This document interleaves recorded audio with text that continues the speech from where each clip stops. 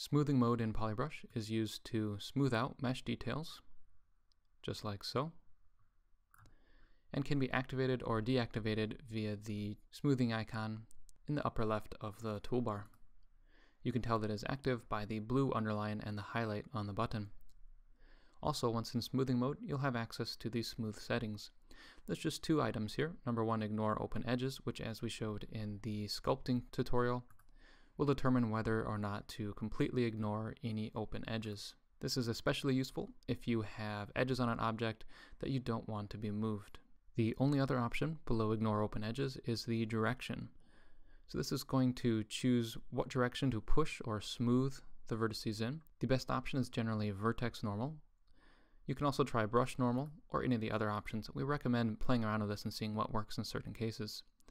For example, if I use just the up mode, now it's only going to smooth upwards, which can be useful for creating a flat plane. Here you can see I'm flattening out this area because it's only smoothing in the upward global direction. And I can do the same using the right direction, which is working on the global x-axis.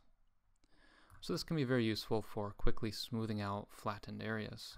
And if I move that back to the vertex normal option, again generally standard method, it's just going to smooth it all out very nicely and remove any harsh edges. As with all the modes, the brush settings will modify how the brush is applied, and I can quickly use the Control plus scroll wheel to zoom the radius up and down, Control plus shift to change the strength of the effect, and just shift to change the inner radius or fall off area.